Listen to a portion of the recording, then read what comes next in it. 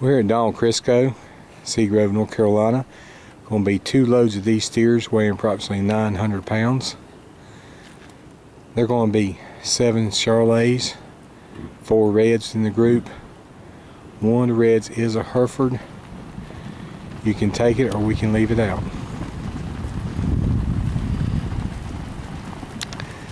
These steers are all on the same program as always.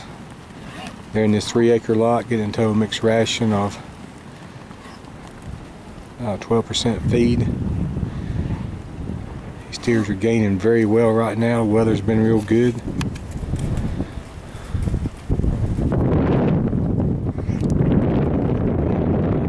Black Baldies. broke. Broke the Ritchie Waters. They do know what a hot wire is. These cattle are double vaccinated, been here well over 90 days. They were brought in here as mainly as four weights. Again, you see the Hereford calf. If you want to take them, that's great. If you want to leave them off, we can leave them off. He is a good Hereford.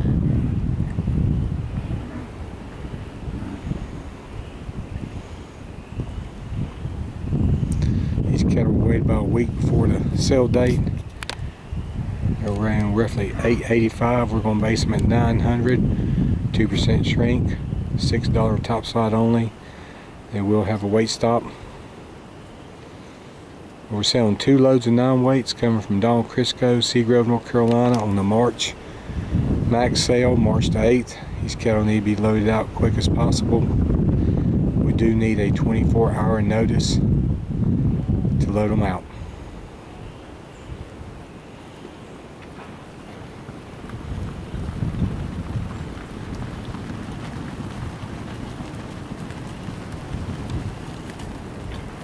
Cattle will be medium flesh, medium frame.